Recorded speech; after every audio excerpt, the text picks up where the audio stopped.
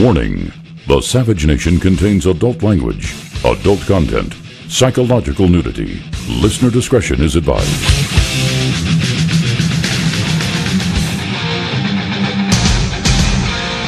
And now, America's most exciting radio talk show, The Savage Nation, home of borders, language, culture. And here he is, winner of the National Radio Hall of Fame Award, Michael Savage.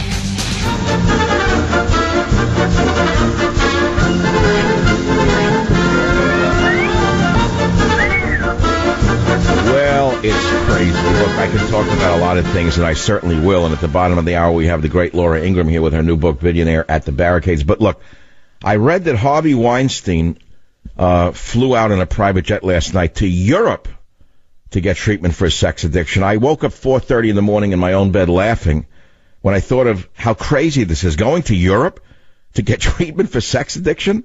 So I thought, well, that makes as much sense as going to Brazil to uh, treat an addiction to Brazil nuts. or going to Hershey, Pennsylvania to treat an addiction to chocolate. Yeah, right, that makes sense. or how about going to Israel to treat anti-Semitic tendencies? I don't think so. Harvey going to Europe uh, to treat his sex addiction would be well, it makes as much sense to me as going to San Francisco to treat a fear of dirty bums. I don't know if that would work. or, or Harvey, it's about the same thing as taking a sea cruise to treat a fear of ocean. or,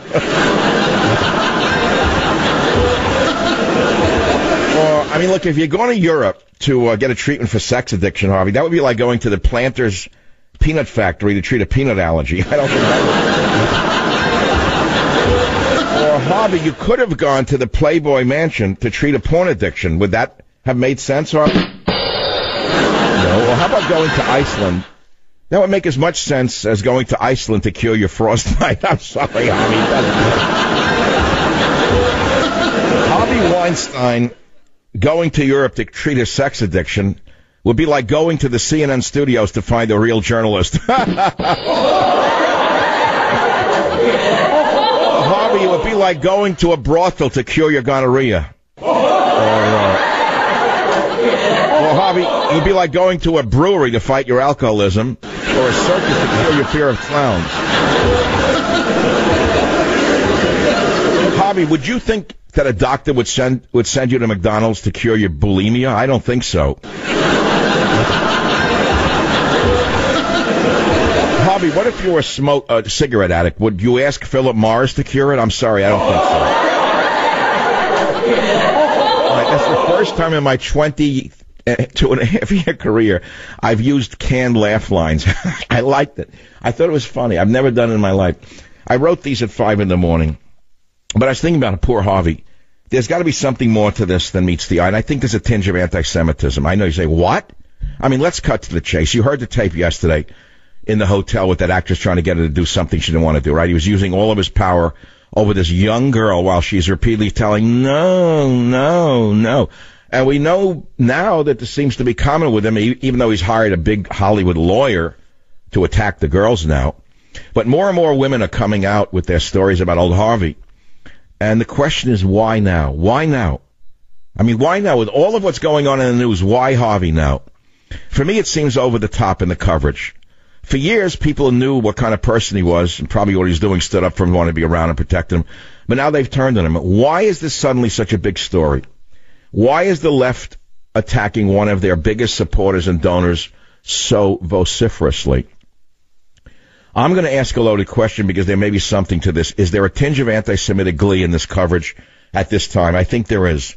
I'm going to give you some evidence to that effect. It came out recently in the uh, Israel Times that Weinstein had planned to direct a movie about the Warsaw Ghetto uprising based on the novel, I think, Mila 18.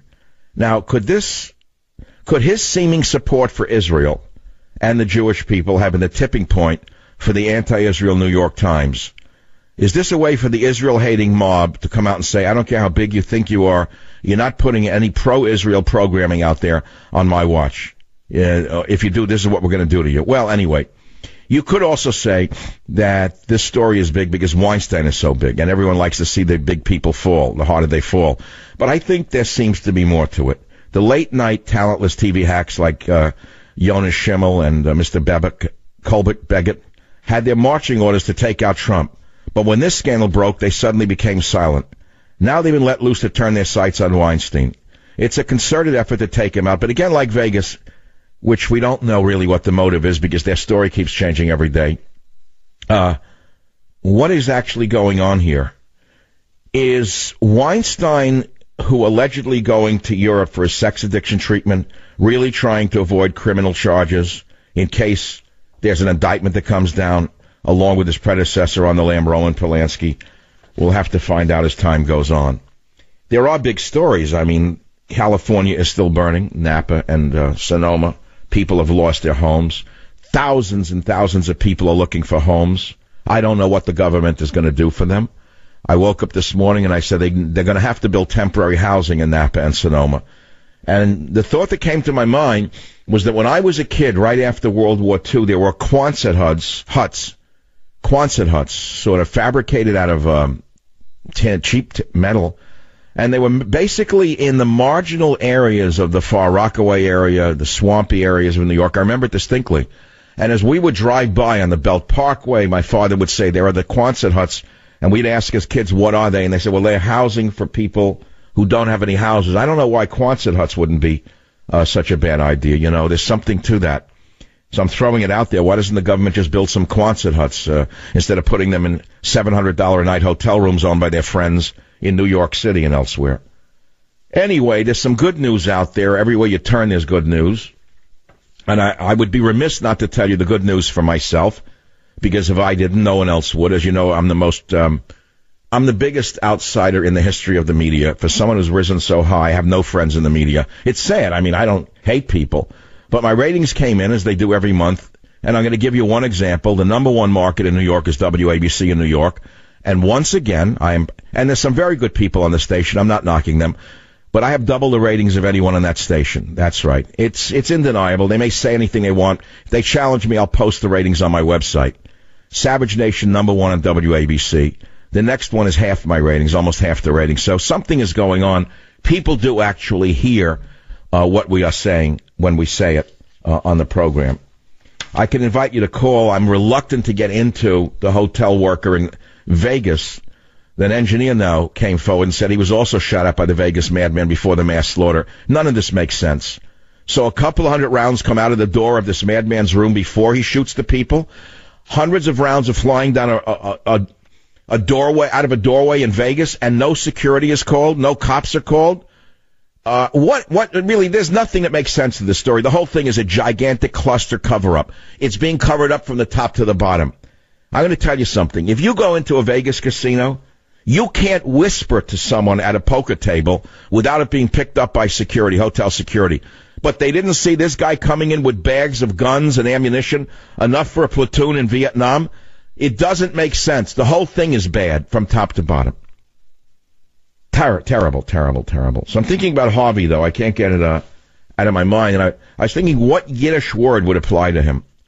Now, Yiddish is an old language that the Jews created in the Middle Ages. It was a combination of Low German and Hebrew.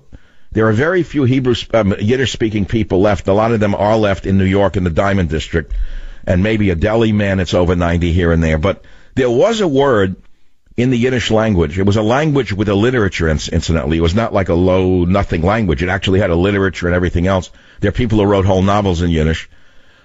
I would say that Harvey is a shtarker, a tough guy. But there are other words that, that are like that, and I don't know that you want, you want to. Does anyone want to hear any uh, Yiddish words that relate to that don't relate to him?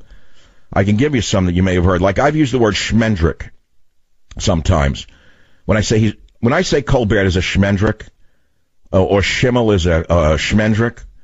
Uh, a schmendrick is a weak and thin pipsqueak. That's the the opposite. the opposite of a mensch, which is a physically small schlemiel. many of you heard the word, many, okay, you don't have to do this. is funny, Robert. Many of you heard the word schmear, like a bagel and a schmear, like a schmear of butter on a bread. That's like been introduced into the English language. Can I have a schmear of butter, meaning you don't want a lot of butter. You just want a little butter. But it's also used uh, in the meaning to bribe someone, meaning I'm going to schmear him, right? You've heard about that. Or another word that's entered the English vocabulary is schmooze. You've heard that. It's kind of part of the vernacular, like let's schmooze with that guy, or I want to schmooze with him. That means to hang out with a friendly, friendly kind of gossipy talk. Uh, how about a schnorrer? That's a beggar, a moocher, a cheapsteak, a chiseler. Who would come to mind when you say that? Don't call me, I don't want to get sued. Or the word schmaltz. It, it literally means chicken fat. And it also can apply to overly sentimental behavior. If someone says they're, they're, they're, they're like fake crying, that's schmaltzy behavior. I can't use the word uh, that relates to a vulgarism for the male body part, uh, but that refers to a jerk or a detestable person, you know. So there are other words that might come in here with uh, Harvey that, um, like this is not for Harvey, but a schmegegge is an old one. That's a an untalented person. That would apply to Jimmy Schimmel, in my opinion, a schmegegge or a, a schmendrick. So there's another word that came to mind when I was thinking about Harvey, which was um, a nafka, which is a uh, uh, not a nice word about women who sell their bodies, but let's leave it at that. Well, that's related to another N word, which is nosh, which is the snack. Even people that don't speak Yiddish say, let's have a nosh now in New York. They don't even know it's a Yiddish word, which means nosh, to, uh, to have a snack.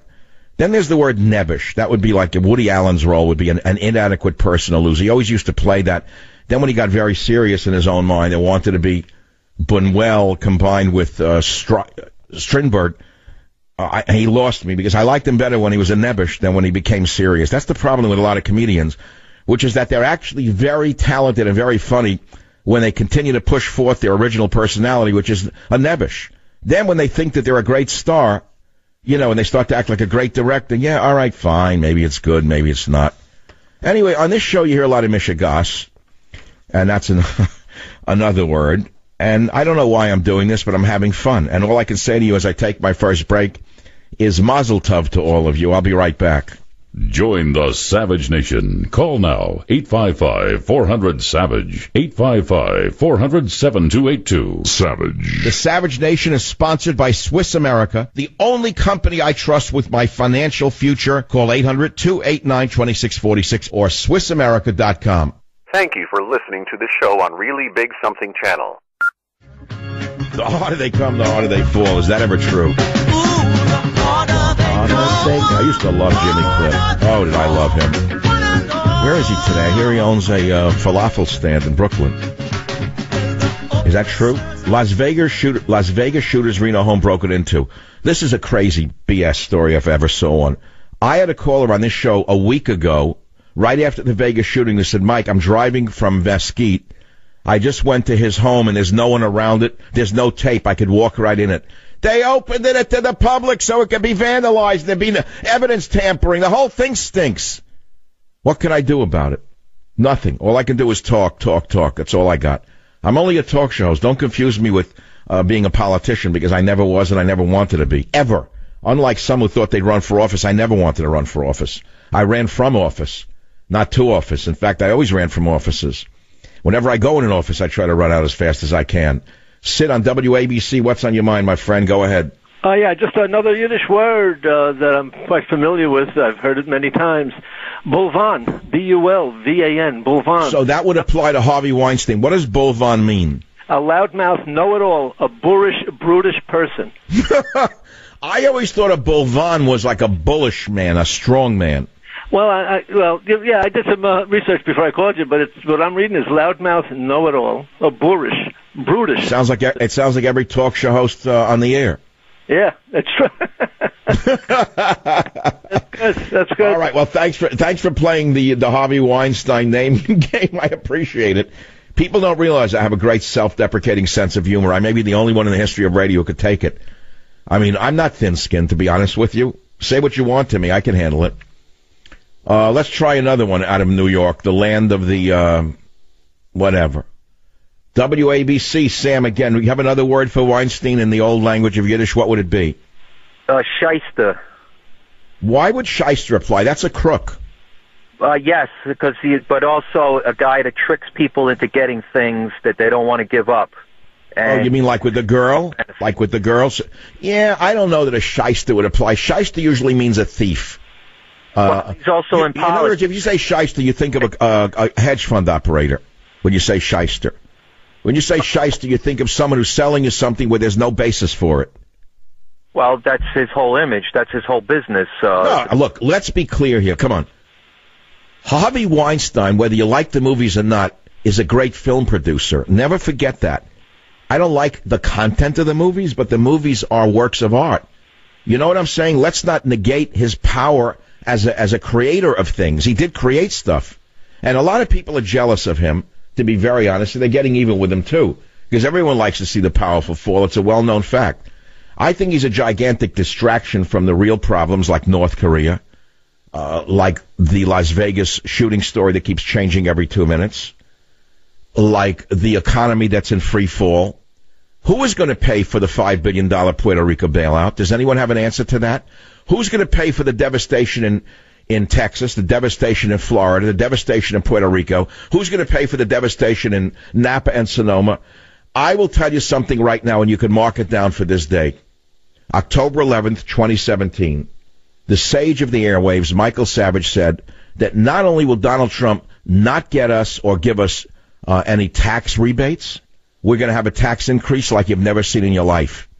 Because there is no other way to pay for all of these natural disasters. Now, on top of that, you've got war fever brewing on three different fronts. North Korea, South America, the Middle East, and maybe Russia. Maybe you could throw in a war with Russia to top it off. As I said before, there's been a soft military coup. They're really running foreign policy. And there's only three or four wars that I know of, but there's five top generals, so we need another one. Maybe we can declare war in Alaska for some reason. And we could have another war for them to get, but something doesn't make sense there. All right, when I come back, I don't know how I got through 30 minutes without. I know it goes by, you know, when you're on top of your game and your ratings are good and you feel good and God's giving you health and there's a tragedy 30 miles away and it passed you by and you thank God that you still have your house even though you're breathing in toxic waste coming out of the air. You still thank God every day for what you have. Laura Ingraham with us when I come back with a new book, Billionaire at the Barricades. But I'm going to talk with her about news. I want to see what she says because she and I have great rapport. Right here on the Savage Nation. Join the Savage Nation. Call now 855 400 Savage. 855 400 7282. Savage. Thank you for listening to the show on Really Big Something Channel.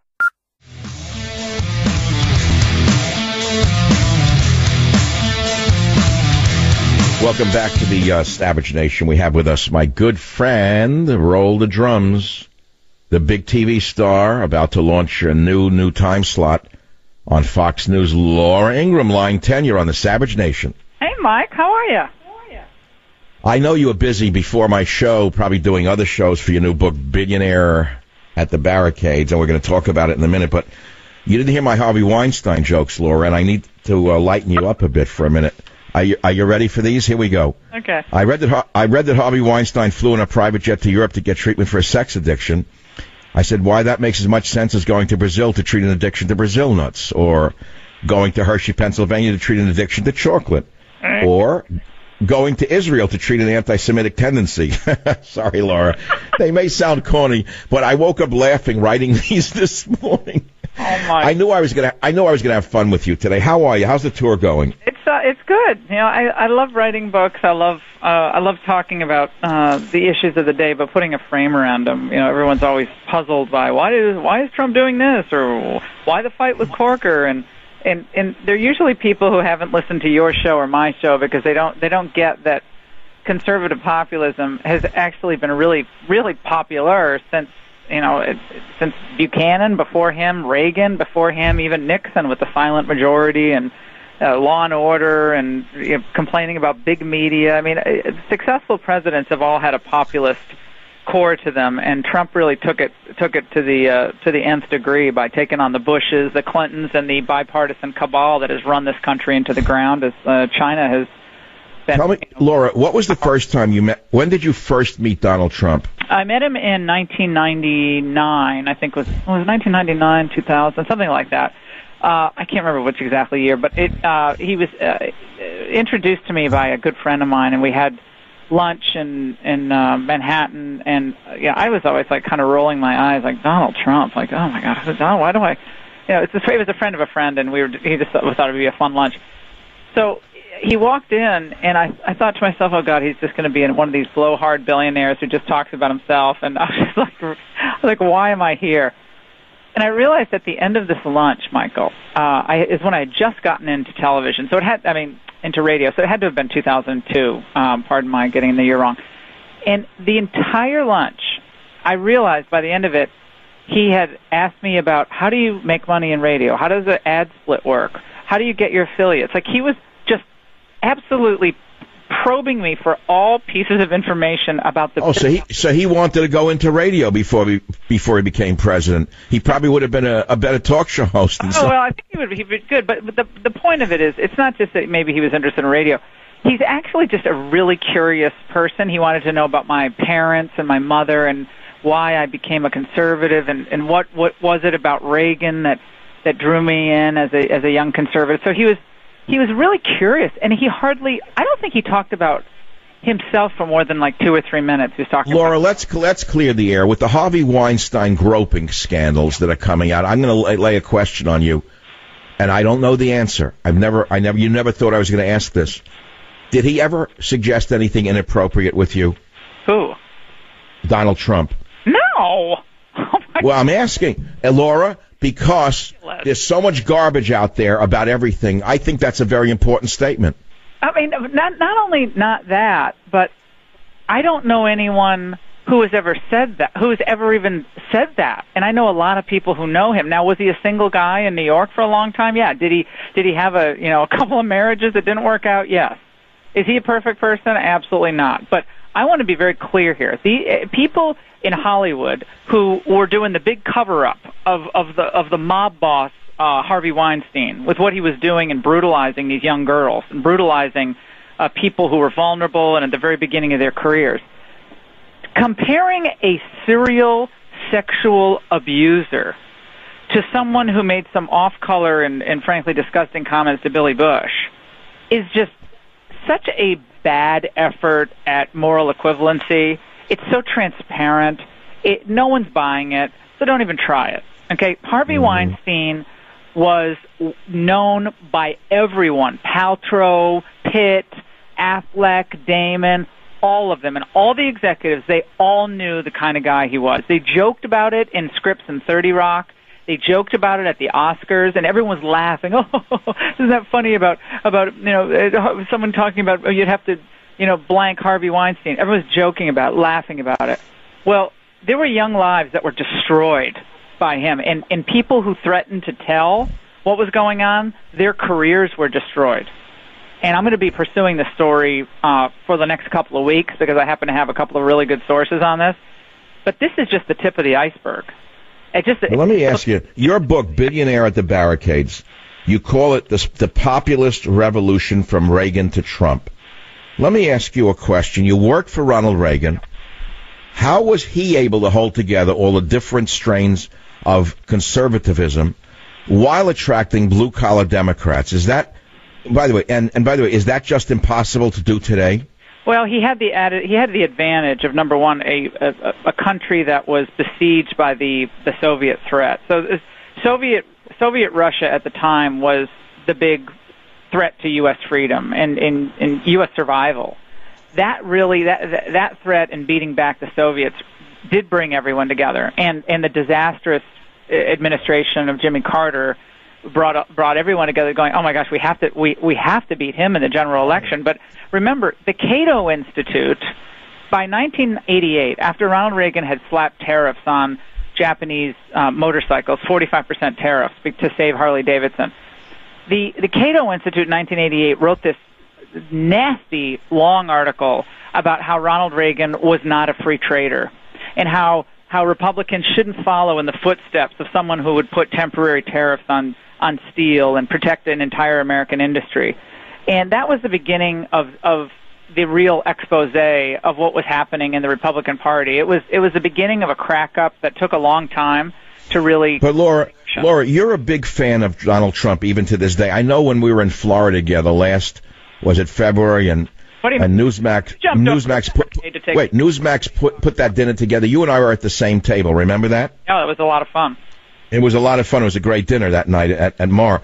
But you say you say that Trump's agenda should not be taken in isolation, but it is really the fulfillment of a movement's yearnings. So, having said that, and being a big supporter of Donald Trump, I, I assume you're still a great supporter. Uh, do you think he can survive what's being thrown at him? It's not. It's not going to be easy. I don't know. I don't have an answer to that. I, I do. I do think that he's he he's best suited to actually bring the country back from from what is a, a, a pathetic state. And will he be successful? I mean, I don't know. He has to he has to he has to contend with the media that wants him impeached, uh, and a, a Democrat Party that wants to destroy him, a prosecutor that is completely untethered by any accountability. Uh, in a Republican Party that wants to go back to the old days when they got fat and happy and the middle class got hosed. So, so he, he's a man against the world. He's a man against the world.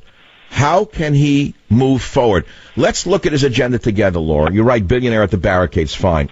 So he started the populist revolution, right? He continued. And, it, mm-hmm. and, and, was going fairly well. Has he achieved any of that populist revolution? I, I can think of one thing. He stopped for example, the travel ban was just basically upheld yesterday by the Supreme Court. That's a huge victory, isn't it? A huge victory. The court decided not to take the case. They had to rewrite the original rule. That was kind of a flub right out of the gate by by um, by the Trump people. But you know they were they were new at politics. They've learned a lot in ten months.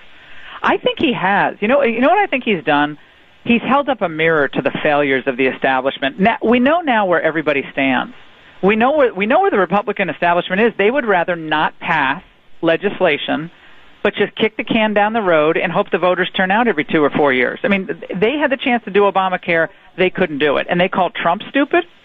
And, and, and just on things like the national anthem, Michael. Remember all the yeah. people two weeks ago who said, "Why did Donald Trump wade into this? This was real. This is bad for race relations." I think it was great. It was exactly the kind of thing that we need in the country, calling out the phonies and the frauds putting up a mirror to what they were doing, and then letting the people react. I think it, it was off the cuff, and it was kind of a gut move by him, and, and during that Luther Strange rally, uh, and I think he was pissed about the Luther Strange endorsement that he did. But it, his instincts are actually really good. He has great instincts, better better than. So he, so he's Trump is as crazy as a fox, in other words, in your opinion. I think I look he, he's he he's he's turned the establishment into a punching bag for the voters, which it needed to happen and he's he's he's now cut a deal with the Democrats on the debt ceiling. That needed to happen. It was incredibly popular what he did, and now he ha- now he has the people behind him. He's more popular than the conservatives on Capitol Hill, the Republicans on Capitol Hill. He, we're getting rid of Bob Corker, who's a disaster, who gave us the Iran deal. And one by one, we're gonna we're gonna take back the U.S. Senate and the House of Representatives and give it back to the people. Because he- I want to ask I want to ask you a question about his personal his personality. You write Billionaire at the Barricades. That's your book. I love it. You know him better than I do. You've met with him many times. You've flown on Air Force One. I think I can say that, correct? Yeah. Okay. So you've gotten to know him a lot better than I have. You know his personality. You know how he's made and what makes him tick. Can any man on earth survive this much enmity. That's what I want to know. I don't know how I could. I couldn't take it. If I was that hated by so many people, you know what I'd say? You could all go to hell, and I would just walk off the stage. Take it and you know, let someone else run this garbage.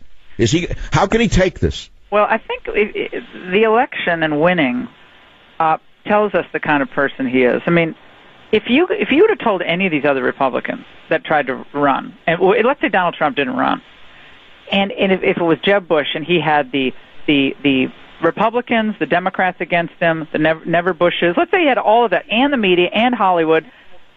Th- these people would have wet their pants. I mean, they would have just gone, gone running home. Trump looked at, endured that Billy Bush embarrassment, the Billy Bush tape thing. All these people told, were telling him to drop out. He, he, he looked at me and said, "Are you kidding me? This is the country. We got to save the country. I'm not a perfect person." But I love this. I want to ask you something. You you say you say in your book, "Billionaire at the Barricades: The Populist Revolution from Reagan to Trump." Okay, don't you think that most people feel you need to have grown up in a working class neighborhood uh, and be from the lower middle class in order to be a populist, Laura? I think most people who don't really understand what populism is might think that. But we go back to Ross Perot, uh, you know, and, and Trump himself. You know, Pat Buchanan was more of a working class Catholic. Uh, but even, you know, Ronald Reagan obviously went to Eureka College. He had a really tough upbringing. But he was uh, he was uh, head of the Screen Actors Guild. He was governor of California. He hung around with a lot of Hollywood celebrities. He was a Democrat. But who understood the working class better than Reagan? So it's not about where you grew up. It's whether the, you trust the wisdom and the in the understanding of the common ordinary person more than you trust unaccountable faithless bureaucracies. Do you want to give more power back to the regular people or do you want to empower things like the World Trade Organization or the UN or you know pick your poison and the EPA or any of these other any of these other uh, government bureaucracies. So the, the populists believe this is the people's country. Trade should work right. for them. Period. Right. Well, well, when I come back, I'm going to open up the lines to Laura Ingraham. We're only going to have a few minutes, but maybe some lucky people will get on to speak with you about your new book. The phone number is 855-407-282 if you want to speak with Laura Ingraham, a new book, Billionaire at the Barricades. That is the number to call. And I want to tell you this while you're still listening to me, by the way. If you travel for business, listen to me. You happen to know if you travel for business, there's wins and losses, right? Like popping open an overhead bin and you find it empty, that's a win. Sleeping through a wake up call, that's not a win, that's a loss. Buying your business trip at upside.com, that's not just a win, it's a triple win. Number one is this, Upside has the absolute best available prices for flights, hotel, and rental cars. Win number two is that Upside will reward you with a gift card to places like Amazon.com every time you buy a business trip. And number three is the amazing six-star treatment you'll get from Upside's customer service specialist, who they call Navigators. One recent Upside customer was called away for an emergency meeting and had to miss his wife's birthday. So a Navigator sent her flowers to try and help ease the disappointment. That's pretty nice, right? And that's just one example of how Upside Navigators go above and beyond for business travelers. Imagine what they'll do for you. Upside Navigators are instantly accessible 24-7 by voice, chat, email, or message on the Upside app, even reaching out to you with useful info to help you avoid a problem before it happens. And I'm going to start your Upside six-star treatment right now. Listen carefully. Go to Upside.com, use my code SAVAGE, and you're going to get a minimum $100 gift card to Amazon.com. You heard me right. Using code SAVAGE, you're going to get a minimum $100 gift card to Amazon.com when you buy your next business trip at Upside.com. Upside.com. You deserve a better business trip. Minimum purchase required. See site for complete details. Join the Savage Nation. Call now 855-400-SAVAGE. 855-400-7282. Savage. The Savage Nation is sponsored by Swiss America, the only company I trust with my financial future. Call 800-289-2646 or SwissAmerica.com. Thank you for listening to the show on Really Big Something Channel. Welcome back to the one and only Savage Nation. I've done something for Laura I've never done for anyone in my life. I put her book and her picture ahead of mine on my own Twitter feed, Facebook, and website. Laura, do you know I did that for you? Are you can you believe that I did that for you, Laura? Well, well Teddy will be happy. Very Teddy, smart. not Laura. Well, uh, let me let me take a couple of calls for Laura with a new book, and we're going to hear about her tour coming up and all of that. I don't know if we have time for more than one call. We're, we're swamped. Greg on KSFO line eight, fire away. What do you want to ask Laura Ingraham? I'd just like to ask uh, Miss Ingraham if she's going to have Dr. Savage on her TV show. Ooh, Laura, I didn't set that call up. Do you want to answer it or not? Is, is, is, is, did she leave the studio? I don't know. What what happened to Laura Ingraham? Wow. I guess we lost Laura. Laura, are you there? I'm there. Yeah. Yeah. Did you hear that question? I did not set it up. Honestly, do you care to answer it or not? Um, I I didn't hear it. There's nothing that came through over the line, so you'll have to you'll have to keep me in suspense or tell me. Well, he said, "Would you have would you have Michael Savage on your new show?" Hello, I already told you you're coming on. What a joke! Well, I mean, I didn't say that to anyone, Laura, because it, what did I, Laura? What did I say to you? I said, Laura, I I'm such a good friend of yours. I don't need anything from you. I mean, no, that's not true. I said I don't need quid pro quo. I'm not trading. I just want you on my show, right? this is what I'm. Yes, you you said that. Of course you said that. But Michael, I have the best people on my shows. I don't. I don't. I, I for me, it's all for one, one for all. I don't care about the competition. Everyone's a. co- No one's competing. We're competing to save the country. That's all. Thank, oh my God, Laura, that's why I absolutely adore you. You're you're you are a tower in the media, Laura. You're really in a class by yourself. I'm not kidding. I- I'm not saying what I don't say to people privately. Laura, can you stay with us over the top when we come back just to talk about your tour and where you're going to be tonight tomorrow? I'm around. I'm not going anywhere. Well, you're not around. You're in great shape. Don't say you're around. Join the Savage Nation. Call now 855 400 Savage. 855 400 7282. Thank you for listening to the show on Really Big Something Channel. Welcome back to the uh, Savage Nation. We have with us my good friend, roll the drums, the big TV star about to launch a new new time slot on Fox News. Laura Ingraham, line ten. You're on the Savage Nation. Hey, Mike, how are you? I know you were busy before my show, probably doing other shows for your new book, Billionaire at the Barricades, and we're going to talk about it in a minute. But you didn't hear my Harvey Weinstein jokes, Laura, and I need to uh, lighten you up a bit for a minute. Are you, are you ready for these? Here we go. Okay. I read that I read that Harvey Weinstein flew in a private jet to Europe to get treatment for a sex addiction. I said, why that makes as much sense as going to Brazil to treat an addiction to Brazil nuts, or going to Hershey, Pennsylvania to treat an addiction to chocolate, or going to Israel to treat an anti-Semitic tendency. Sorry, Laura. they may sound corny, but I woke up laughing writing these this morning. Oh my! I knew I was gonna. I knew I was gonna have fun with you today. How are you? How's the tour going? It's uh, it's good. You know, I I love writing books. I love uh, I love talking about uh, the issues of the day, but putting a frame around them. You know, everyone's always puzzled by why is why is Trump doing this or why the fight with Corker and and and they're usually people who haven't listened to your show or my show because they don't they don't get that conservative populism has actually been really really popular since you know it, since Buchanan before him Reagan before him even Nixon with the silent majority and uh, law and order and you know, complaining about big media. I mean uh, successful presidents have all had a populist core to them and Trump really took it took it to the uh, to the nth degree by taking on the Bushes, the Clintons and the bipartisan cabal that has run this country into the ground as uh, China has Tell me, Laura, what was the first time you met? When did you first meet Donald Trump? I met him in 1999. I think it was it was 1999, 2000, something like that. Uh, I can't remember which exactly year, but it uh, he was uh, introduced to me by a good friend of mine, and we had lunch in in uh, Manhattan. And uh, yeah, I was always like kind of rolling my eyes, like Donald Trump, like oh my god, Donald, why do I? You know, it's a, it was a friend of a friend, and we were he just thought, thought it would be a fun lunch. So he walked in, and I I thought to myself, oh god, he's just going to be in one of these blowhard billionaires who just talks about himself, and I was like, I was like, why am I here? And I realized at the end of this lunch, Michael, uh, I, is when I had just gotten into television. So it had, I mean, into radio. So it had to have been 2002. Um, pardon my getting the year wrong. And the entire lunch, I realized by the end of it, he had asked me about how do you make money in radio? How does the ad split work? How do you get your affiliates? Like he was absolutely probing me for all pieces of information about the. Oh, so he so he wanted to go into radio before he, before he became president. He probably would have been a, a better talk show host. Than Oh some- well, I think he would be, he'd be good. But, but the the point of it is, it's not just that maybe he was interested in radio.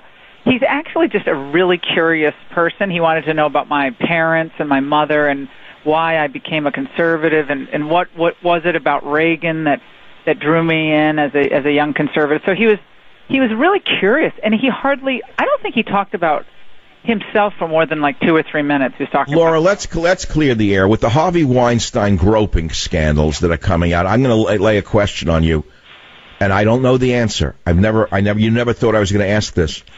Did he ever suggest anything inappropriate with you, who? Donald Trump? No. Oh Well, I'm asking, uh, Laura, because there's so much garbage out there about everything. I think that's a very important statement. I mean, not not only not that, but I don't know anyone who has ever said that, who has ever even said that. And I know a lot of people who know him. Now, was he a single guy in New York for a long time? Yeah. Did he did he have a you know a couple of marriages that didn't work out? Yes. Is he a perfect person? Absolutely not. But I want to be very clear here. The uh, people in Hollywood who were doing the big cover up of of the of the mob boss uh, Harvey Weinstein with what he was doing and brutalizing these young girls and brutalizing uh, people who were vulnerable and at the very beginning of their careers. Comparing a serial sexual abuser to someone who made some off-color and, and frankly disgusting comments to Billy Bush is just such a bad effort at moral equivalency. It's so transparent. It, no one's buying it, so don't even try it. Okay, Harvey mm-hmm. Weinstein was known by everyone. Paltrow, Pitt, Affleck, Damon, all of them, and all the executives, they all knew the kind of guy he was. They joked about it in scripts in 30 Rock. They joked about it at the Oscars, and everyone was laughing. Oh, isn't that funny about about you know uh, someone talking about oh, you'd have to you know blank Harvey Weinstein. Everyone's joking about, it, laughing about it. Well, there were young lives that were destroyed by him, and and people who threatened to tell what was going on, their careers were destroyed. And I'm going to be pursuing the story uh, for the next couple of weeks because I happen to have a couple of really good sources on this. But this is just the tip of the iceberg. It just well, let me ask you: your book, "Billionaire at the Barricades," you call it the, the populist revolution from Reagan to Trump. Let me ask you a question. You worked for Ronald Reagan. How was he able to hold together all the different strains of conservatism while attracting blue collar Democrats? Is that, by the way, and, and by the way, is that just impossible to do today? Well, he had the added, he had the advantage of number one, a, a a country that was besieged by the the Soviet threat. So the Soviet Soviet Russia at the time was the big threat to U.S. freedom and in in U.S. survival. That really that that threat and beating back the Soviets did bring everyone together, and and the disastrous uh, administration of Jimmy Carter brought brought everyone together going oh my gosh we have to we we have to beat him in the general election. But remember the Cato Institute by 1988 after Ronald Reagan had slapped tariffs on Japanese uh, motorcycles 45% tariffs to save Harley Davidson the the Cato Institute in 1988 wrote this nasty long article about how Ronald Reagan was not a free trader and how how Republicans shouldn't follow in the footsteps of someone who would put temporary tariffs on on steel and protect an entire American industry. And that was the beginning of, of the real expose of what was happening in the Republican Party. It was it was the beginning of a crack up that took a long time to really. But Laura, Laura, you're a big fan of Donald Trump even to this day. I know when we were in Florida together last was it February and and Newsmax Newsmax put, wait Newsmax put put that dinner together. You and I were at the same table. Remember that? Yeah, it was a lot of fun. It was a lot of fun. It was a great dinner that night at, at Mar. But you say you say that Trump's agenda should not be taken in isolation, but it is really the fulfillment of a movement's yearnings. So, having said that, and being a big supporter of Donald Trump, I, I assume you're still a great supporter. Uh, do you think he can survive what's being thrown at him?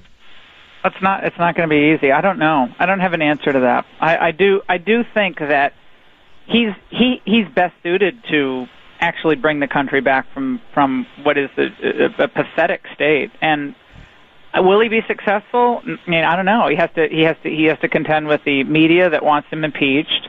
Uh, and a, a Democrat Party that wants to destroy him, a prosecutor that is completely untethered by any accountability, uh, in a Republican Party that wants to go back to the old days when they got fat and happy and the middle class got hosed. So, so he, he's a man against the world. He's a man against the world. How can he move forward? Let's look at his agenda together, Laura. You're right, billionaire at the barricades, fine. So he started the populist revolution, right? He continued. And, it, mm-hmm. and, and, was going fairly well. Has he achieved any of that populist revolution? I, I can think of one thing. He stopped for example, the travel ban was just basically upheld yesterday by the Supreme Court. That's a huge victory, isn't it? A huge victory. The court decided not to take the case. They had to rewrite the original rule. That was kind of a flub right out of the gate by by um, by the Trump people. But you know they were they were new at politics. They've learned a lot in ten months. I think he has. You know you know what I think he's done. He's held up a mirror to the failures of the establishment. Now, we know now where everybody stands. We know where we know where the Republican establishment is. They would rather not pass legislation but just kick the can down the road and hope the voters turn out every two or four years. I mean, they had the chance to do Obamacare, they couldn't do it, and they called Trump stupid. And and, and just on things like the national anthem, Michael. Remember all the yeah. people two weeks ago who said, "Why did Donald Trump wade into this? This was real. This is bad for race relations." I think it was great. It was exactly the kind of thing that we need in the country, calling out the phonies and the frauds putting up a mirror to what they were doing, and then letting the people react. I think it, it was off the cuff, and it was kind of a gut move by him, and, and during that Luther Strange rally, uh, and I think he was pissed about the Luther Strange endorsement that he did. But it, his instincts are actually really good. He has great instincts, better better than. So he so he's Trump is as crazy as a fox. In other words, in your opinion. I think I look. He, he's he he's he's turned the establishment into a punching bag for the voters, which it needed to happen. And he's he's he's now cut a deal with the Democrats on the debt ceiling. That needed to happen. It was incredibly popular what he did, and now he ha- now he has the people behind him. He's more popular than the conservatives on Capitol Hill, the Republicans on Capitol Hill. He, we're getting rid of Bob Corker, who's a disaster, who gave us the Iran deal. And one by one, we're gonna we're gonna take back the U.S. Senate and the House of Representatives and give it back to the people. Because these, I want to ask a, I want to ask you a question about his personal his personality. You write Billionaire at the Barricades. That's your book. I love it. You know him better than I do. You've met with him many times. You've flown on Air Force One. I think I can say that, correct? yeah, Okay. So you've gotten to know him a lot better than I have. You know his personality. You know how he's made and what makes him tick. Can any man on earth survive this much enmity? That's what I want to know. I don't know how I could. I couldn't take it. If I was that hated by so many people, you know what I'd say? You could all go to hell, and I would just walk off the stage. Take it and leave, you know, let someone else run this garbage. Is he? How can he take this? Well, I think it, it, the election and winning uh, tells us the kind of person he is. I mean, if you if you would have told any of these other Republicans that tried to run, and well, let's say Donald Trump didn't run, and and if, if it was Jeb Bush and he had the the the Republicans, the Democrats against him, the never, never Bushes, let's say he had all of that, and the media and Hollywood. th- These people would have wet their pants. I mean, they would have just gone, gone running home. Trump looked at, endured that Billy Bush embarrassment, the Billy Bush tape thing. All these people told, were telling him to drop out. He, he, he looked at me and said, "Are you kidding me?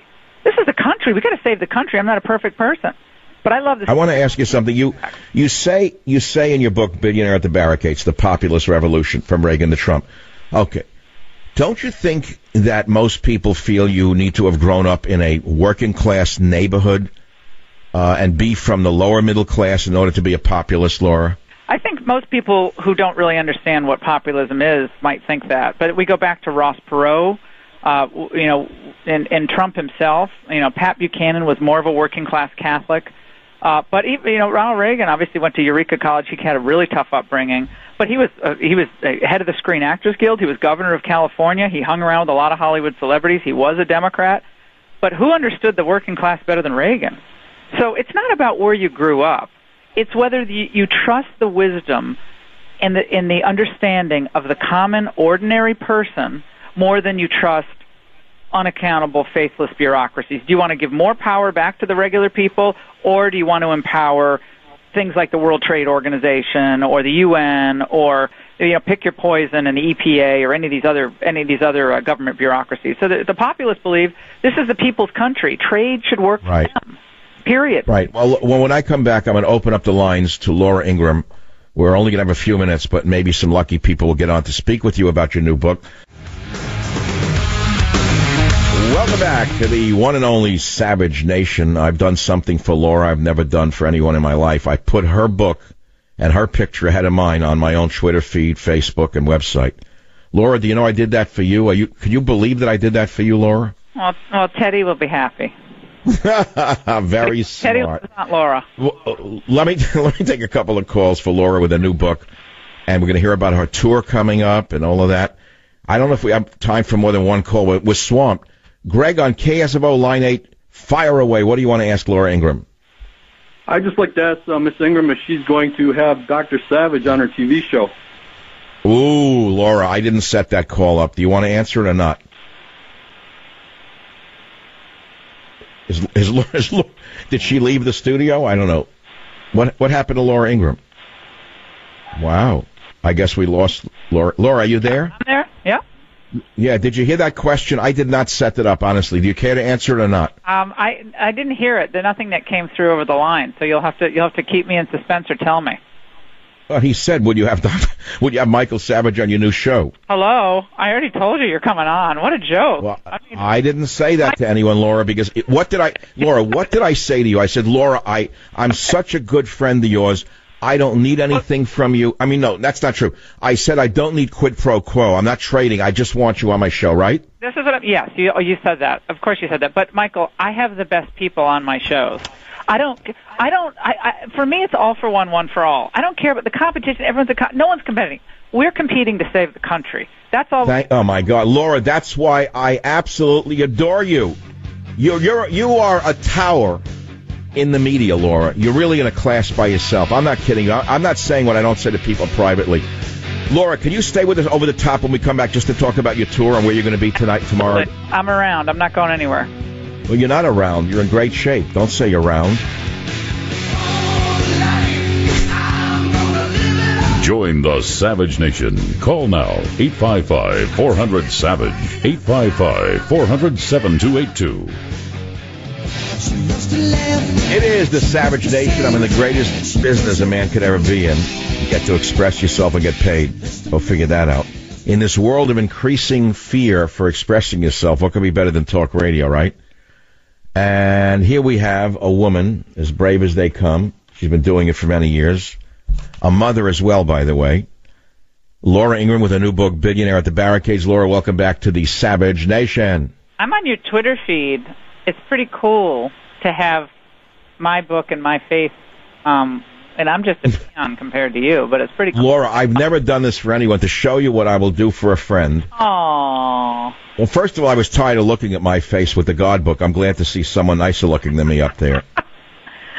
Oh my god. Hey, can we do an event together in um in the Bay Area? No, no, I would never subject you to that kind of abuse. I don't mean me. What? I'm not Harvey Weinstein. I'm not Harvey Weinstein. Like I'm saying, the abuse of people who would you know jeer us and throw throw like lettuce and tomatoes at us. No, no, no, no. First of all, we we would charge we would we would charge something so the freeloaders wouldn't come. Okay, so we'd charge something, but nothing too onerous. But then we would have our our friends uh, guarding our border.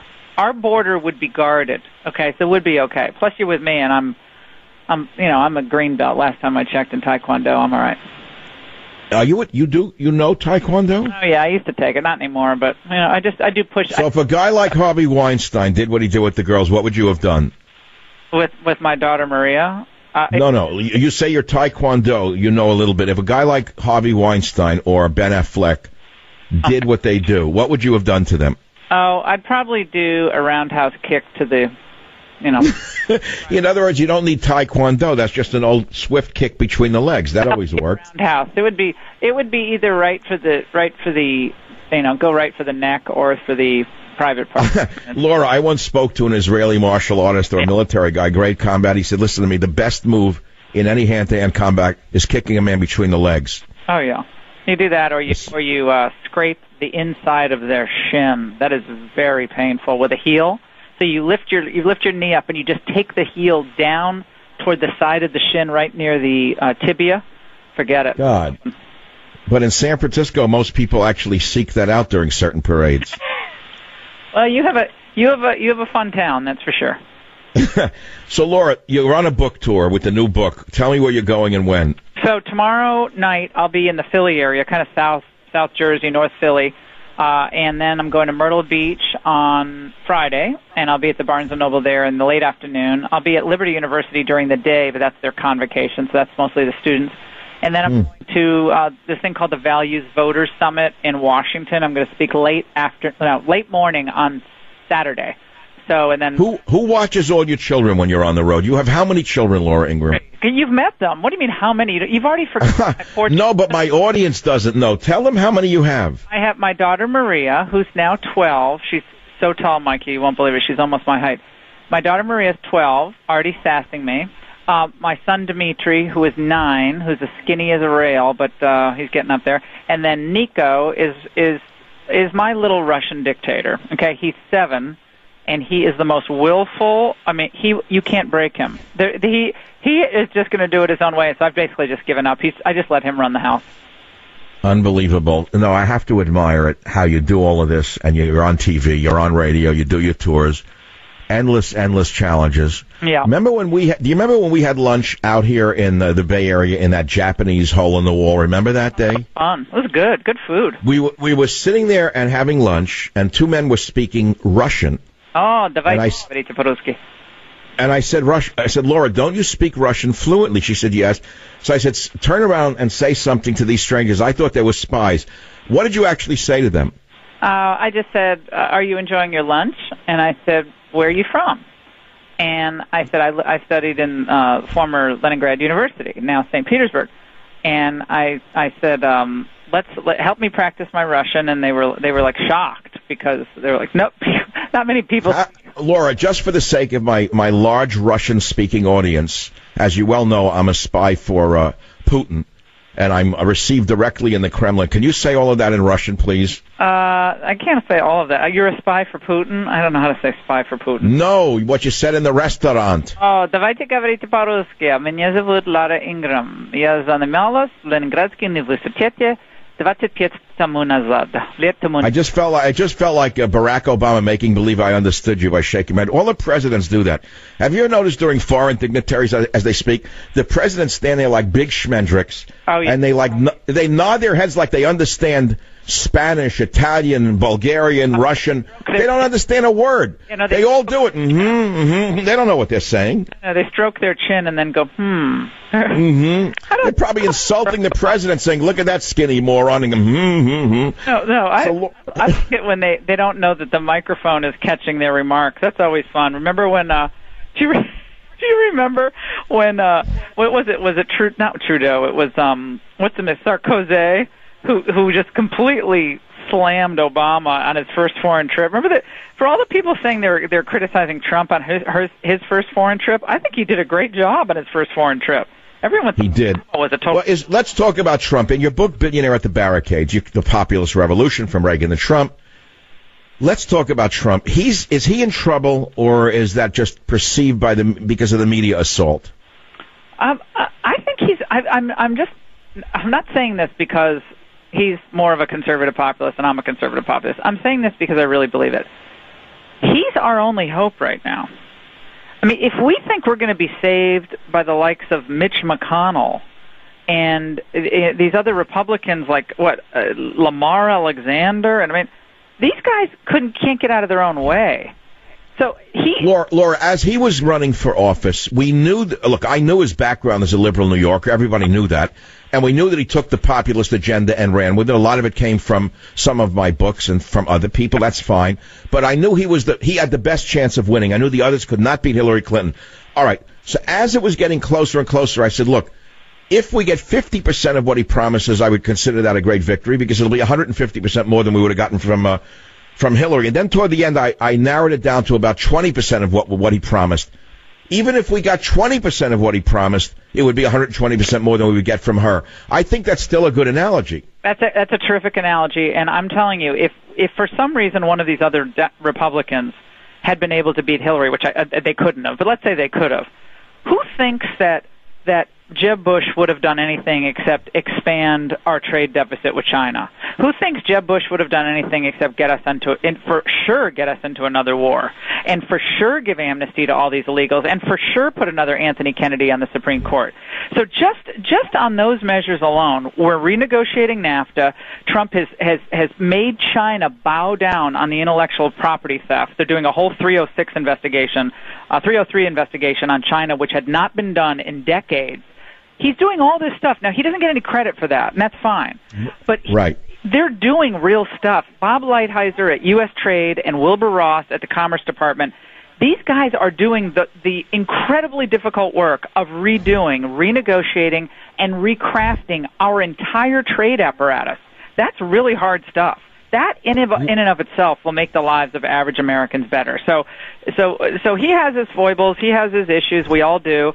But this man loves this country and he wants to win. These other Republicans want to want to respect their Democrat colleagues, go out for a drink at the end of the day with their Democrat colleagues, and, and, and go to their fancy conferences. Donald Trump wants to win. That's what he wants to do. We're listening to the one and only Laura Ingraham, who, as you well know, is a regular voice on Fox News. She has her own show and is moving to a, an earlier time slot. She is a mother of three, a cancer survivor. I'm sorry to have to say that, but I'm very proud of you to keep fighting, Laura. You're amazing. I don't think people know that you're also a brilliant legal scholar and that you were once a clerk for a Supreme Court justice.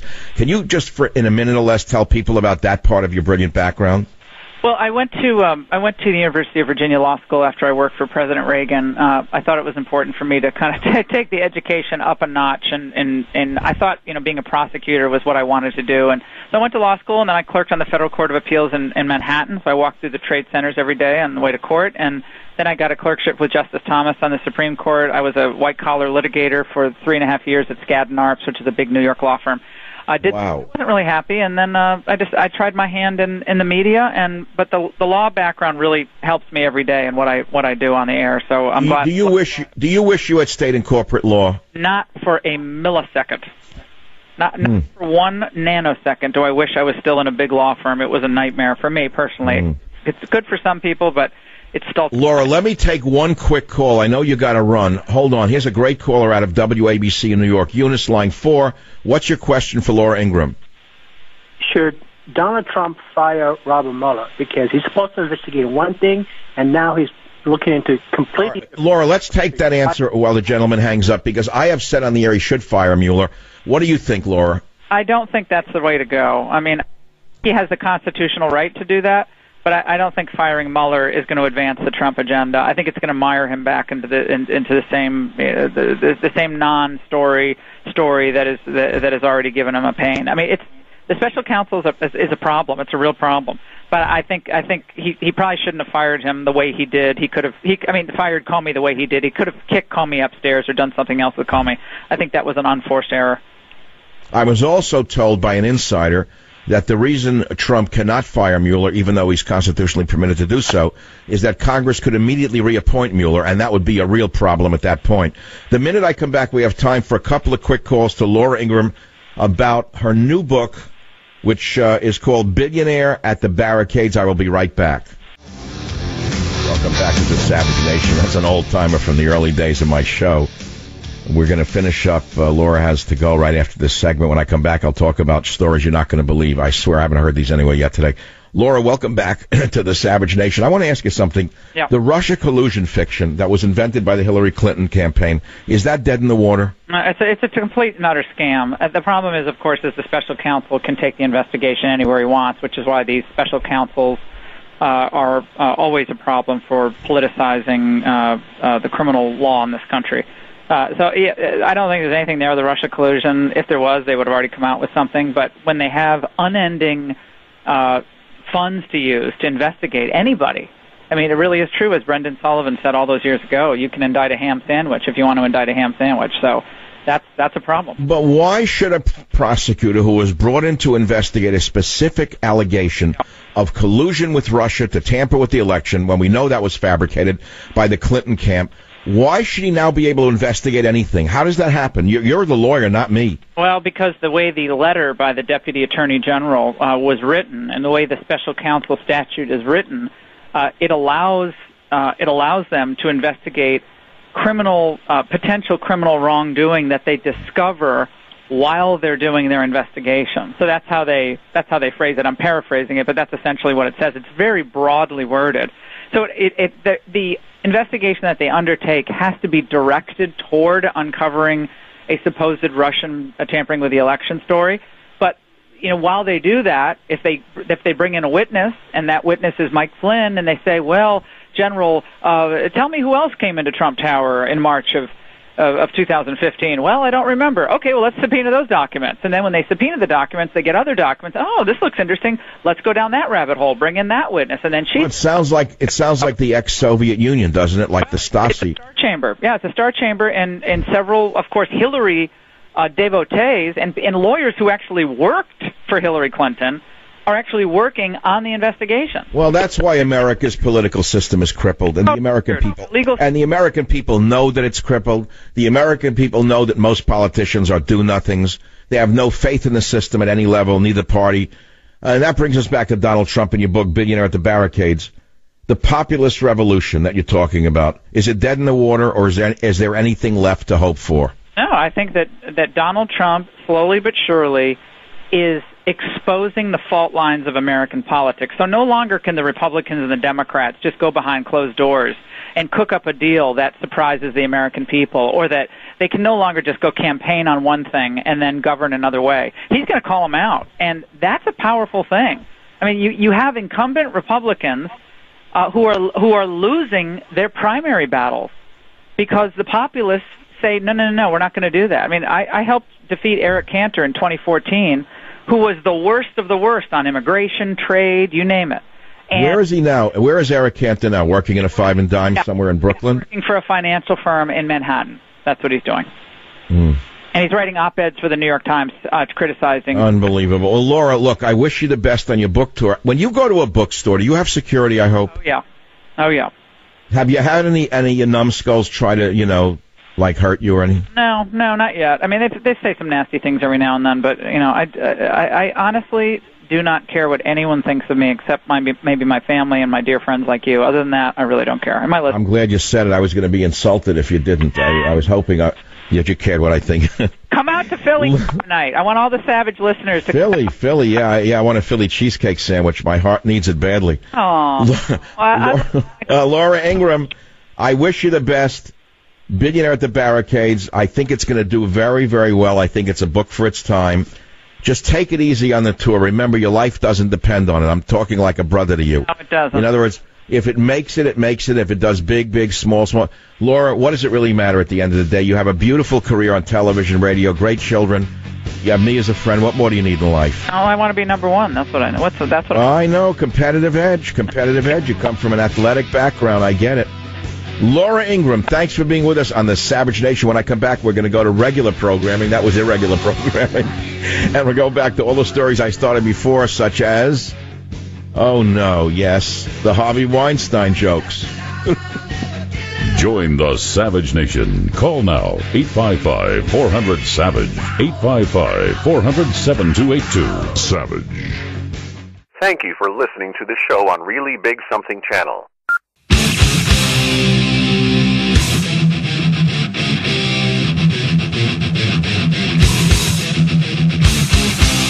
Warning the Savage Nation contains adult language, adult content, psychological nudity. Listener discretion is advised. October 10th, 2017. And now, America's most exciting radio talk show, The Savage Nation, home of borders, language, culture, and here he is, winner of the National Radio Hall of Fame Award. Michael Savage. The New Yorker magazine published audio today from a New York Police Department sting operation, reportedly from a 2015 encounter between Italian model Ambra Battilana Gutierrez and Harvey Weinstein in his hotel. And according to the story, the two of them were standing in the hallway outside Harvey's hotel room, and Harvey, the mogul, tells Gutierrez, the ingenue, uh, about the actresses he has helped, helped, helped while trying to get her into his room while he showers. Now, I'm going to play the tape for a couple of reasons. He says to her, You must come here now. Weinstein says in the audio while Ms. Gutierrez resists. And then he gets crazy. He says, Please, now, you're embarrassing me. It is actually frightening to listen to his voice because when you listen to the voice, you realize this is not the innocent groping you may have thought it was. I know you say, if you're a woman, there's no such thing as innocent groping. I get that. But the guys, I got to tell you something. Ah, groping me, he brushed again. No, he didn't. This is crazy now. Now, in conversation with Gutierrez, he admits to groping her. We have that audio as well. And Gutierrez then goes to police at the NYPD and says she was assaulted, and they don't do anything. This is even more interesting.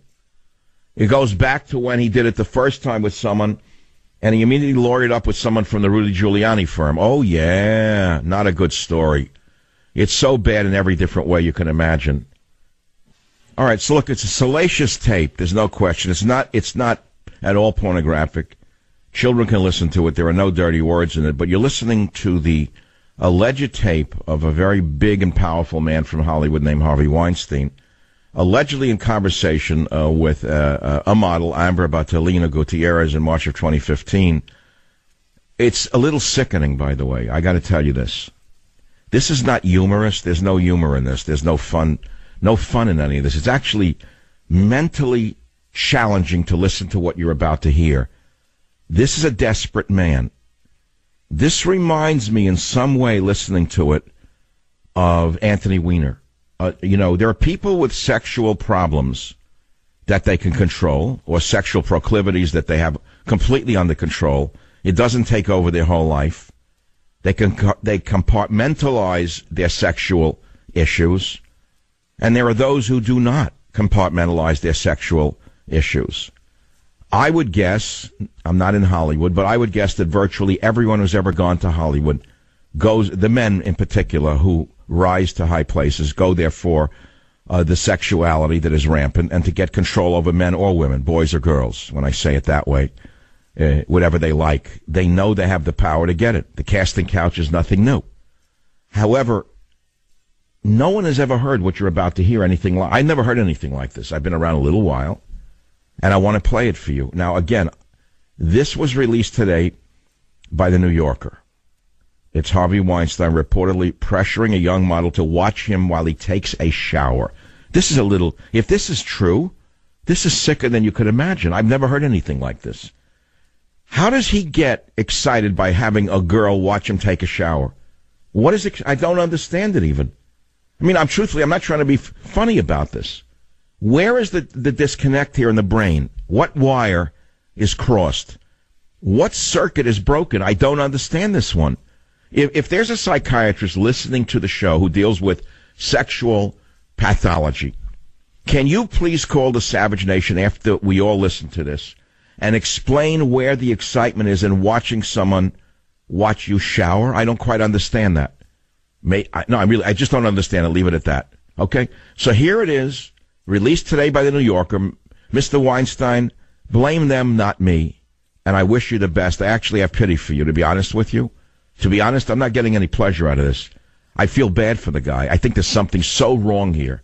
There's something so damaged here that as a compassionate human being, I have, pa- I have pity for the man. Listen to 01.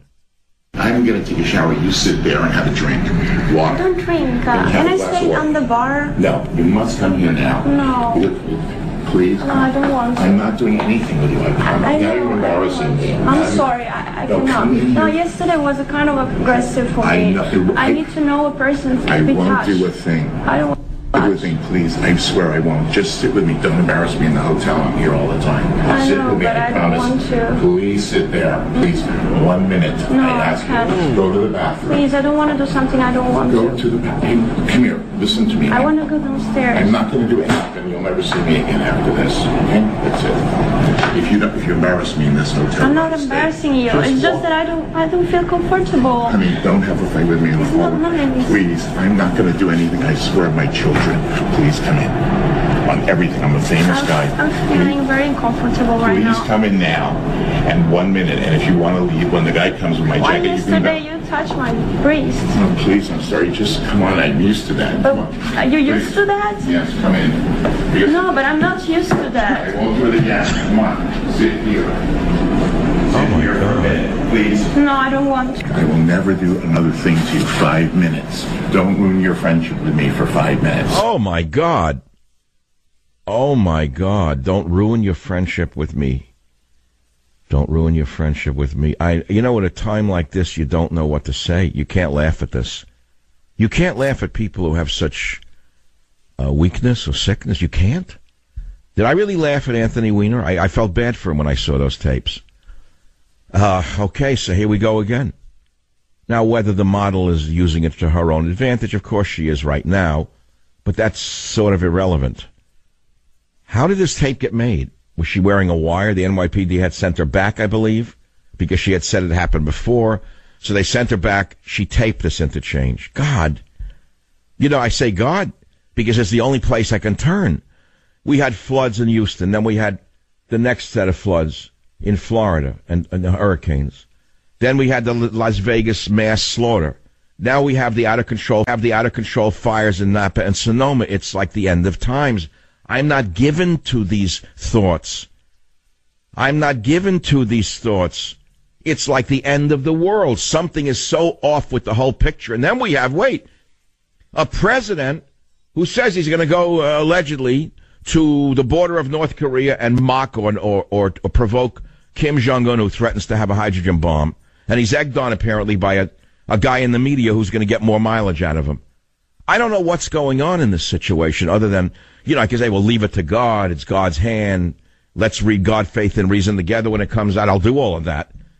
But I swear to you, when I said to you I had to do a book for God, and I'm not going to do an infomercial right now, as my thanks to God for having given me this great career He's given me, and my health, and my great family, I said, this is the book I have to write. The publisher wasn't happy with it, but I wrote it. It's really based upon writings I've written since I was very young, young, young. God, faith, and reason. And now, where would I turn today? I don't know where to turn. Where do you turn today? Where do you turn for sanity in this insane world? I'm telling you, it looks like a crazier world by the day. But the thing is this. You know, I could ask you, uh, say, oh my, my, uh, are you shocked by the depravity that is being exhibited right now with the Weinstein story? We go to the movies for the depravity. We love the depravity. We love the violence. We love the depravity. That's why we go to the movies. What, what do you think movies are? Since Lumiere discovered the projector or invented the projector, uh, starlets have been seduced by people who are behind the camera and running the projectors. I mean, what? This is a shocker. The thing is that's shocking about this, I think, I think, is that if you look at Weinstein's face, he has the face that matches the story. This is one of the most interesting faces I have seen in years. He looks sort of a, like a human gopher, someone who burrows down uh, into things, and the face matches the story. That's what's intriguing. In other words, it's the the ugly face of Hollywood. It's not the pretty boys. It's not the polished exercise guys. It's not the gluten free people.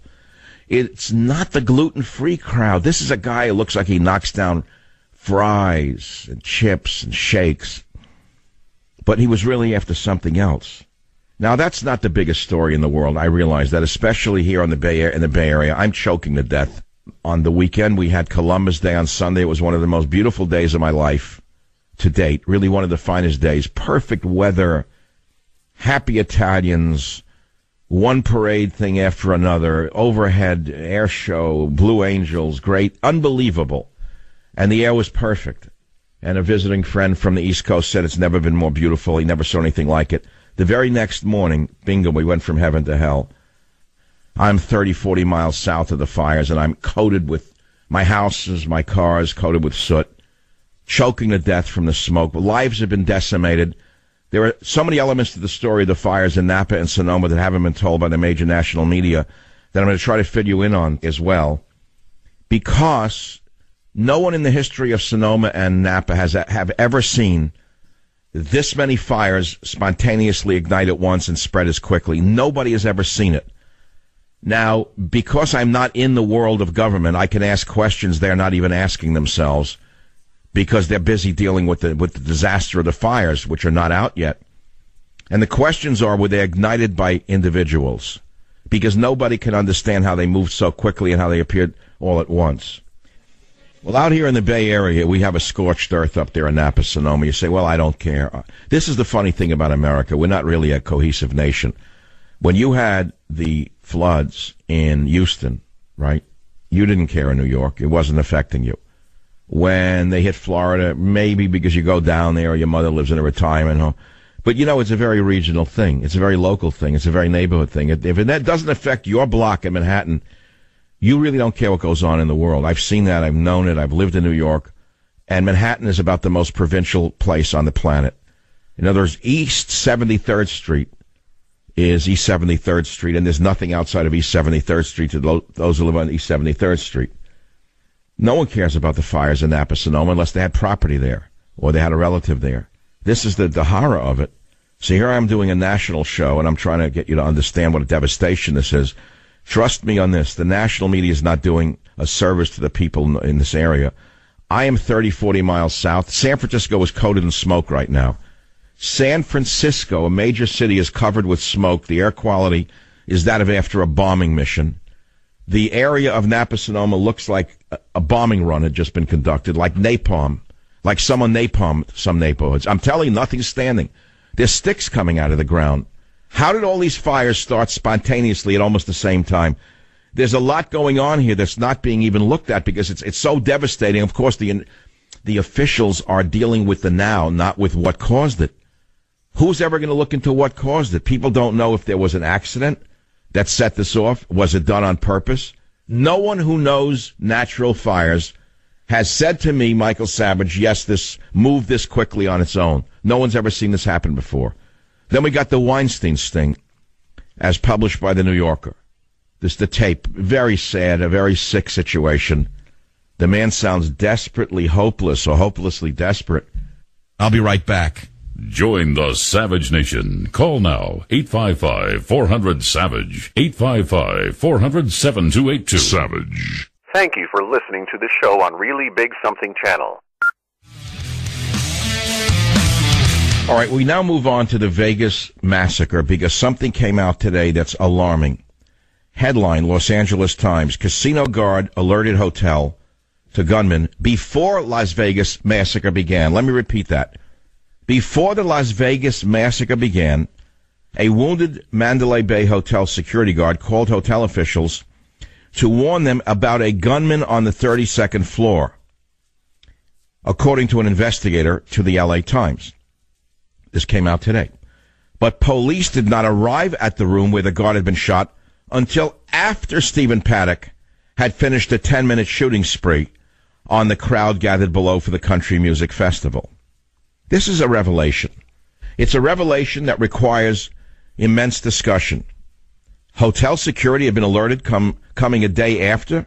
Las Vegas police changed their timeline of how the Route 91 Harvest Country Music Festival massacre started on October 1. So now we learn that Mandalay Bay security guard Jesus, Jesus Campos was shot six minutes before. Quote, he called it in before the attack began, possibly using a hallway phone to contact whole security. I want to know why they didn't rush up there and stop the shooting. What's wrong here? Listen to clip 14. If we could find clip 14, that would be superb. About the single person whose action helped pinpoint the location of the suspect and that was the Mandalay Bay security guard Jesus Campos. As you might imagine, Mr. Campos was not only injured when he was fired upon, as he did his room check about the door alarm down the hall from the suspect's room, but he was also extremely shaken up by what happened to him. He was able to confirm for us exactly what he heard and saw in the moments before the, he was shot. Okay, so why didn't the hotel immediately break down the door? If he called it in before the attack began, According to today's report by Clark County Assistant Sheriff Tom Roberts, he manually called down and he used his radio to call. That's what we were briefed this morning. Why then did hotel security not rush up there, break the door down, and stop the massacre? Number one. Number two, and this is a big one. Where was the where were the police on a thing like this? I'm going to ask you, the audience of the Savage Nation, to give me a call at 855 407 282. Going back to the Vegas massacre, it is far from over. It is far from over because a new story emerged today. Casino guard alerted hotel to gunman before the Las Vegas massacre. Before the massacre, he calls down and says he was shot through the door. Why did hotel security not rush up there with the Las Vegas Police Department and stop the man before he committed this atrocity? Representatives from Mandalay Bay have not responded to the Times request for more information. This comes to us at the Savage Nation from the Los Angeles Times. This is a this changes everything. What do you think actually happened now? This confirms a number of suspicions that I've had for a long time. One of which is that if this guard, Mr. Campos, is saying he was shot before the attack and that he alerted hotel officials about a gunman on the 32nd floor, why did the police not arrive? But it, it, it begs another question, and I don't know how to put, put it without getting into legal trouble. Is the guard himself complicit in the shooting spree? The whole thing sounds like it's a mixed mass. Something made, was made up here. Something's wrong. The police have now changed their story twice or three times. I want you to call the show at 855 47282 right now. Your opinion, it counts. I'll be here to take your calls on the Las Vegas revelation. Join the Savage Nation. Call now 855 400 Savage. 855 400 7282. Savage. Thank you for listening to the show on Really Big Something Channel. Now, let, us put some, let's put some things together here. Houston, terrible floods. Florida, terrible flooding. Puerto Rico, still underwater, no electricity in many areas. Vegas, worst massacre in U.S. history. Now the wine country's burned down. It looks like a bombing mission, a bombing run in Vietnam in the 1960s. And it doesn't, it doesn't make sense to me, some of this stuff. So we could talk about Weinstein, sure. That's a distraction as far as I'm concerned. Casino guard alerted hotel to gunman before Las Vegas massacre began. Just came out in the Los Angeles Times. A wounded Mandalay Bay hotel security guard called hotel officials to warn them about a gunman on the 32nd floor before the massacre began. But police did not arrive at the room where the guard had been shot until after Paddock had finished his 10 minute shooting spree, killing the, somebody in the crowd. He called it in before. Now the police changed their timeline. We have no reports from the FBI. The FBI should be all over this. It seems the Las Vegas police are now going back and forth on this. We just don't know how long it took him to call. He's getting shot at. He's running. He's getting shot. He finds some cover. That's when he starts calling in. Says Clark County Assistant Sheriff Tom Roberts, said the LA Times in an interview. He manually called down and he used his radio to call. That's what we were briefed, briefed this morning.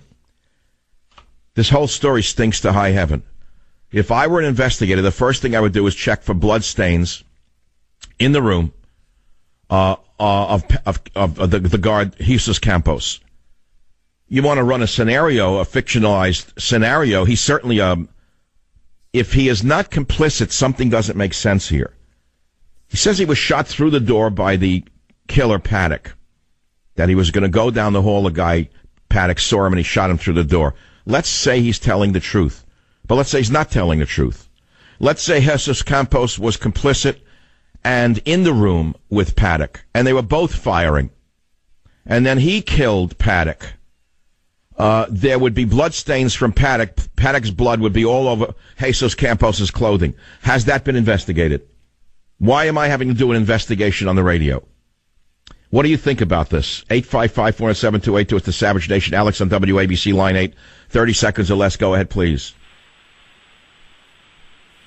Okay, dead shot. Line 1. Go ahead. You're on the Savage Nation. Next one. Line 1. You're on the air. I, I don't believe the bit about the note being calculations that he scribbled at the last minute in the hotel room. Guy who did that much planning, amassed that many guns, brought them up to the hotel, all that stuff. He should have done those calculations way ahead of time, had everything preset, ready to go, knowing what elevation angles and everything to shoot in order to hit that, especially when he did not have any tracers, where he wouldn't know. So he had to have that all worked out beforehand before he got into that hotel room. Uh, so the, the note thing just just doesn't add up for me at all. All right, so that's another element that doesn't add up to you. Thank you, sir. The audience has great intelligence. Maybe they can help the police and the FBI get to the bottom of this. There's also the issue now of the fires in Napa and Sonoma. I will repeat again something you're not getting from the national news. People who have lived there all their lives are reporting to me that they have never heard of or seen this many fires in, um, ignited or start at the same time and move as quickly. It's never happened like this before. This is something new. Don't believe it's the same old, same old. It is not. KSFO, Janelle, line nine, go ahead. What's the topic? I don't know where the people are. I'm hitting the buttons, Robert, and nobody is there, James. I guess they hang up uh, before I can get to them. Let's go to line two. Line two, you're on the air. What's on your mind? Go ahead, please. Hello? Come on. Yeah, go ahead. You're on the air. Yeah, Michael, uh, have you not heard that the CEO of Mandalay Bay sold his stock in the company two weeks before the shooting? Where Where did you read that? I read it on the news. No, no, but which source? Where in the news? Uh, I, I'm, I can't recall exactly what it was. All right, well, let's look into that. I don't know if it would have any b- bearing on this. It could be just coincidental, for sure. Bill, KBET Las Vegas, line four. Go ahead, please. Hi, Michael. Listen, uh, I, my wife and I were kind of following this, and last night we came across a piece of news feed that was very interesting. There's a site that was kind of an offbeat site that has, you know, sort of, you know, controversial reputation for having, you know, facts that are sometimes spurious, sometimes they're real accurate. So we're looking at this and they're saying, okay, the shooter actually was a CIA gun runner, and there was a device that was found in his room. There was a communication device that they traced to the the guy who was manufacturing them, or was somehow associated with that. And interestingly enough, that the guy who this was traced to he was also uh, being investigated to whether he was selling this technology to the CIA from his company. And because it was, I can't follow. I've seen some of the conspiracy theories that the government is really behind it. But from my point of view, what sense does that make? Why would the government do this? What, to seize our guns? That's how that storyline goes, right? it doesn't make any sense really at all, except that these seem to be facts. We checked it out with uh, uh, Reuters. But here's a part of that story that doesn't hold up. This guy had no politics that we know of. He wasn't a liberal. He wasn't a conservative. Why did he choose a country music festival? If he really wanted to provoke the ire of the media and of Hollywood, notice they've forgotten the story already. They've moved on because it was only country western white people who got killed by and large. If he really wanted to provoke the ire of Hollywood and the media with a story that never would end, he would have attacked a concert uh, that was primarily attended by folks who were on the other side of the aisle. But he didn't do that. So I don't, I don't, I don't believe that theory holds water. To be honest with you. Or you want me to go back to the Weinstein thing? I mean, do the psychological analysis of that. I'm not that interested in it anymore. And the guy's pretty sick. It's sad. He sounds like a very, very, very needy person. Let's put it to you that way. And uh, it's another Anthony Weiner all over again. And let's hope he gets the help he needs. He says he needs help. And he's going to go into a quote facility. I, I hope it's a different facility than uh, Anthony Weiner went to because it didn't seem to do him any good so far. JJ KAOK, Las Vegas, or are you in LA? K, no, KAOK in, where are you? Louisiana? Line 7. JJ, where are you calling from? From Louisiana. Go ahead, my friend. What's on your mind? Um, I just want to say I'm hard pressed to believe that he did it, or and he definitely wasn't alone. It's an awful lot of planning just for one guy to pull off that big of a shoot. But when we, but I read you a revelation that came out only today. Casino guard was alerted, alerted the hotel to the gunman before the massacre. What does that tell you? Uh, it tells me that he's one of them in on it. You think the guard was involved. So do I. In other words, a reasonable investigator would immediately say, hold it a minute. Hold it a minute. Hold it a minute. If he called hotel officials to warn them about a gunman on the 32nd floor, and police don't arrive at the room where the guard had been shot until after Paddock had finished the shooting spree, what does that tell you about the whole picture? You mean the police wouldn't rush there immediately? Why not? Maybe um, they got reports saying don't go there, it's a hoax. I mean, it really could be anything. Okay, don't go there, it's a hoax. Would you not, if you were an investigator for the FBI, go back to the crime scene, try to match blood on the um, security guard's clothing with the blood of Paddock? Oh, definitely. I'd be going off to textbook um, training. Yeah, in other words, let's let's be just logical about it. I mean, you have to be CSI to figure this out. A guard says, "Hey, hey, hey! I just got shot through the door. There's a gunman on the 32nd floor." Ten minutes go by. The shooting spree starts. People are killed, and now the guard is not they don't check his clothing out for blood splatter and see if the blood matches uh, uh, the shooter, Paddock? Exactly. I, I... Sorry. I'm sorry. I don't buy the whole thing. Something's wrong. It stinks to high heaven. Dave on KSFO line two, fire away. You're on the air. Hey, Dr. Savage. Uh, I was just thinking about that uh, security guard and being shot through the door. And I remember when I first heard that, I thought, if he saw him on a security cam from his firing position, and he turned around and shot through the door. Somebody else probably would have noticed when the bullets came through the wall and the door and everything else. So I just I don't know I don't know where it all lands, but it just doesn't doesn't seem right to me that maybe he fired one shot and it happened to hit the guy and no one else heard about it. I just Yeah, Dave, and what I'm I mean if I were writing the mystery novel and I have written several adventure novels, uh, let's see, Abuse of Power was a New York Times bestseller. Uh, Time for War, another one was Countdown to Mecca. They were pretty big novels for their time. Harvey Weinstein certainly turned down the rights. Incidentally, none of my novels have been picked up by Harvey Weinstein or Katzenberg or Hatzenberg or Matzenberg, Ratzenberg or Spielberg. And we know why, of course, because you don't work in that town unless you're on their political uh, side. If you're not on their political side, your books go right into the trash heap. That's their right. They can do what they want. But if I were writing a film scenario for Harvey Weinstein about the Vegas massacre, and uh, I, I certainly I'm not a screenwriter, but the screenplay would go along the lines of both Paddock, the shooter, and the and, and the guard were shooters. They were both shooting. They were both shooting.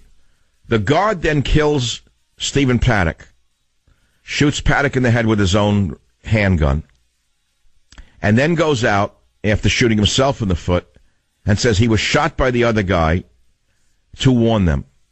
And that would explain the two shooter theory that we heard initially. Clark County Assistant Sheriff Tom Roberts told the LA Times just today, it's brand new news, the following. He said he called it in before the attack began. He manually called down and he used his radio to call. That's what we were briefed this morning. Roberts said he didn't know precisely what time Campos called in his own shooting before the assault on the concert goers began, or whether the hotel immediately passed the information to police. We just don't know how long it took him to call. He's getting shot at. He's running. He's getting shot. He finds cover. That's when he starts calling in. Okay, so we can believe the security guard, but we certainly wouldn't rule him out as uh, complicit in the shooting. Any homicide, in any homicide, no one is ruled out who's at the scene. No one. No one is innocent until proven innocent. It's that simple, especially in a case like this. So I'd like to know why the FBI has not yet come out and said that we're, we're investigating new leads. Why? Why? I'll let you figure out why. Virginia, KSFO Radio. Go ahead, Virginia. What's on your mind? First Sunday at 10 p.m., Vegas starts. One week later, October 8th, around 10 p.m., the fires were started, and there was also a very huge Philip. Oh wait, you're reading my you're reading my Twitter feed because I'm the one who put up the 1010. Are you aware of that? No, I didn't see that. Sorry, but also the. Well, no, then I'll read it from my own Twitter feed because I'm the first to put it up. Okay, I'm glad someone saw it. You ready? 10 p.m. Sunday, multiple fires ignited in Northern California. 10 p.m. Sunday a week ago, Vegas massacre. Chinese 1010 holiday. Does anyone see the connection? No, because there may not be any, but it's very coincidental to me. 1010, today is October 10th. 1010, the 1010 holiday in China symbolizes the end of uh, the control of the uh, uh, masters of China and the beginning of the Republic of China. I don't know if you know any of this. The 1010 is a huge holiday in uh, in Taiwan today, and it was a huge holiday in San Francisco where there's a large Taiwanese community. Those are the free Chinese who were never communists. They celebrate the 1010 holiday. And of course, maybe it's coincidental of the double 10, but the double 10 parade occurred on Sunday uh, in San Francisco. 10 p.m. Sunday, multiple fires ignited. 10 p.m. Sunday a week ago, Vegas massacre, Chinese 1010 double 10 holiday. I'm the one who put it up on Twitter seven hours ago. Was I just playing with numbers? Yes, I was just simply playing with numbers. Double 10. Double 10, double 10, double 10.